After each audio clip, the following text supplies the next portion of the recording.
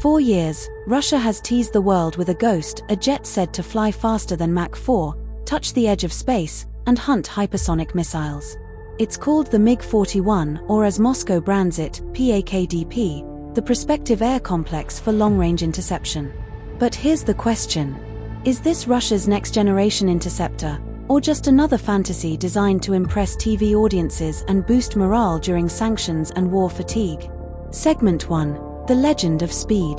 To understand the MiG 41 myth, you need to go back to the Cold War.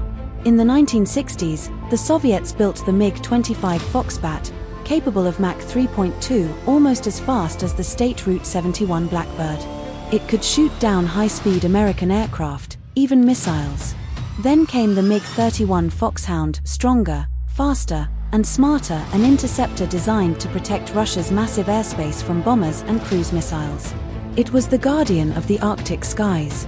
And now, decades later, Russia claims the MiG-41 will be its ultimate successor, capable of flying at Mach 4.3, reaching 50,000 meters, and even fighting in near space. Segment 2. The announcements that never end. But the MiG-41 story is full of announcements. Each few years, Russian state TV brings the project back to life. In 2018, MiG's CEO said, this is not a mythical project. In 2021, it was said to be in formal development. And now in 2025, again, retired Major General Vladimir Popov claims the jet's appearance is finalized and a first flight will happen soon. The problem? There's no prototype, no engine, and no proof of progress. Just a cycle of recycled renderings and recycled timelines. Even Russian media admit it, much of this is about image management, not engineering. Segment 3 Tech claims versus reality.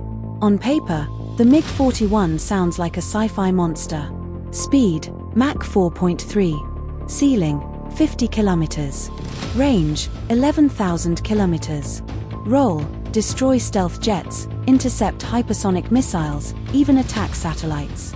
But engineers say these specs are physically extreme.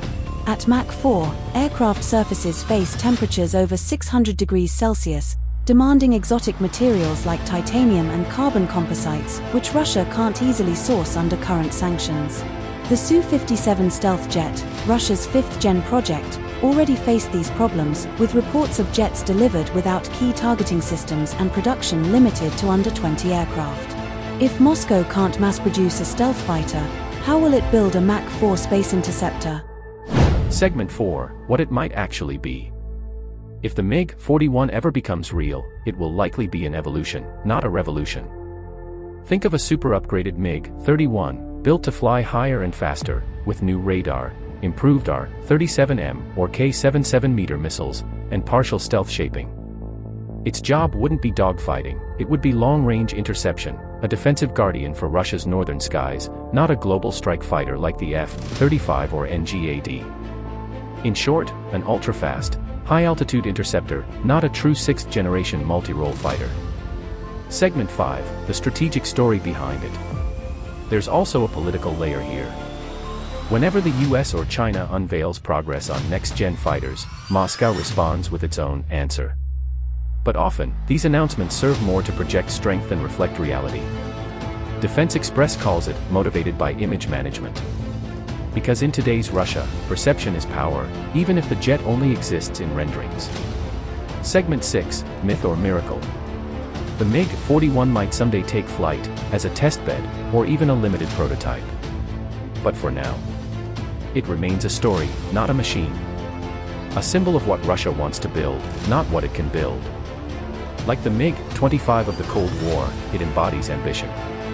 But unlike the Foxbat, this one may never leave the runway. Until the hardware appears, the MiG-41 remains more narrative than airplane. A reminder that Russia's aerospace ambitions still outpace its industrial reality. What do you think? Is the MiG-41 the future of air combat, or just vaporware dressed as vision? Let me know in the comments.